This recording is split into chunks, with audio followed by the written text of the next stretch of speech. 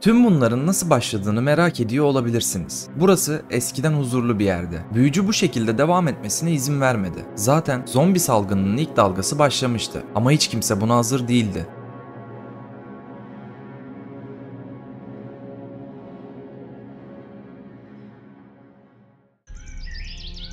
Hadi Onurcan hazırlan artık. Acele et ve aşağı gel. İşe geç kalıyoruz. Aa sakin ol Rüyaperest. Kimse işe geç kaldığı için ölmedi. Doğru ama işe geç kaldığı için ilk ölen insan sen olabilirsin. Acele et ve hemen buraya gel.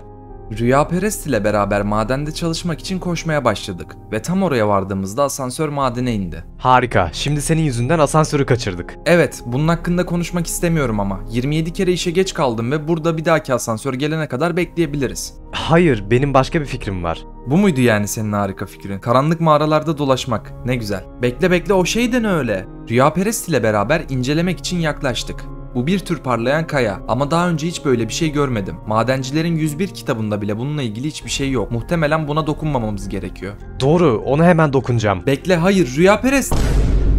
Ee, peki bu baya bir garipti. Ve neden ona dokundun Rüyaperest? Sen asla ciddi bir şey yapamazsın. Ama hey bir saniye. Madenciler burada. Hadi çalışmak için geri dönelim ve hiçbir şey olmamış gibi davranalım. Neyin yanlış gidebileceğini biliyorsun. Rüyaperest ile beraber grubun geri kalanına döndük ve akşam olduğunda eve yürüdük. Tamam Rüyaperest yarın görüşürüz. Aa kafam. Kendimi iyi hissetmiyorum. Soğukkanlı olup uyusam iyi olur.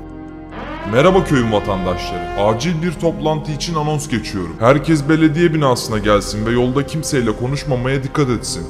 Neler oluyor? Yıllardır acil bir toplantı olmadı. Evden çıktım ve tedirgin bir şekilde belediye binasına doğru koştum.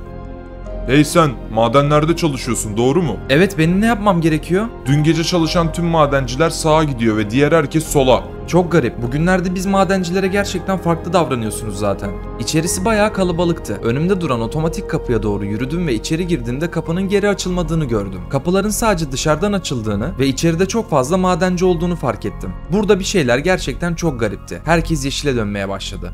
Hey Rüyaperest neler oluyor burada ve neden böyle gözüküyorsun? Nasıl yani? Tamamen normal görünüyorum. Hayır hayır kanka sen yeşilsin. He, bu benim salı günü kombinim. Ama diğer insanlara bak onlar da yeşil. Ne oluyor anlamadım. Hepiniz hoş geldiniz. Muhtemelen fark etmişsinizdir. Bütün madenciler bizden ayrı bir yerdesiniz. Bunun nedeni ise yeni bir virüsün köye musallat olması ve bunun son derece tehlikeli olduğu görülüyor. Bu köylüyü komşularımızdan birinden yiyecek çalmaya çalışırken yakaladık. Biz çözüm yolu bulmaya çalışırken herkesin korunması için bir şeyler yapması gerekiyor. Hey, benim bir fikrim var. Hepsini uzaya gönderelim. Bu bugün duyduğum en aptalca şey ama haklısın. Her virüslü madenciyi çare bulana kadar yaşayabilecekleri dağlara göndermeliyiz. Hayır bunu yapamazsın. Bize hasta olduğumuz için sürgün mü ediyorsun yani? Kusura bakma ama hiçbir şey yapmadık. Oyuncu Onurcan, ama bu köyün güvenliği için emirlerime uymak zorundasın.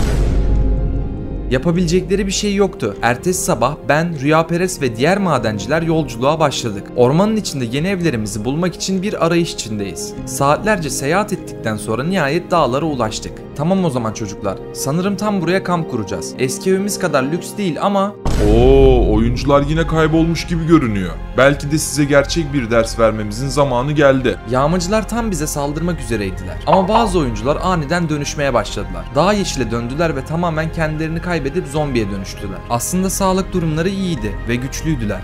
Bekle, bu da ne böyle?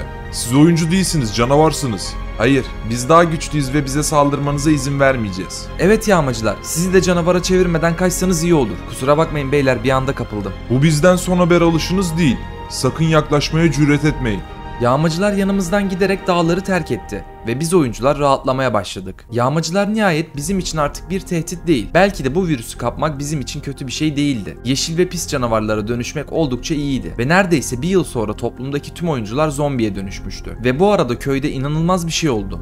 Patron patron, sonuçları geri aldık ve inanılmaz umut verici gözüküyor. Sanırım birkaç gün içinde insan testlerine başlayabiliriz. Hayır, şimdi başlamanız lazım. Zaten madenciler köyden fazlasıyla uzak kaldı ve iyileştirilmeye ihtiyaçları var. Ve onları düzeltmek bizim sorumluluğumuzda. O yüzden daha fazla mazeret istemiyorum ve konuyu gündeme getireceğiz. Tamam efendim, sizi hayal kırıklığına uğratmayacağız. Ve bu zombiye dönüşen ilk köylü. Ve onlar zombiye dönüştüğünde tam olarak kendilerinde değiller. Konuşamıyorlar ve saldırıyorlar. Ama sorun yok, bu işe başlayabiliriz. İksiri ona fırlatıp altın elma verirsek iyileşmesi lazım. O zaman devam et. Bilim adamı gergin bir şekilde sandıktan eşyaları aldı ve zombinin yanına gitti. Hadi bakalım başlıyoruz.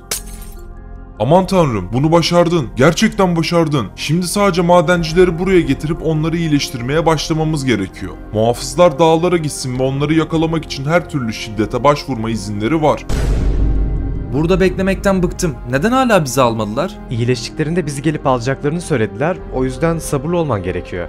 Hayır, bundan bıktım ve gidiyorum. Köye geri dönmek için mağarayı ve zombi topluluğunu terk ettim ve yolculuğuma başladım. Bir süre sonra nihayet bir oyuncu gördüm. Evet sonunda. Merhaba dostum ben Onurcan. Zombilerden birisin ve seni yakalamak için her türlü gücü kullanabilirim. Hayır hayır buna ihtiyacın yok. Ben tehlikeli değilim.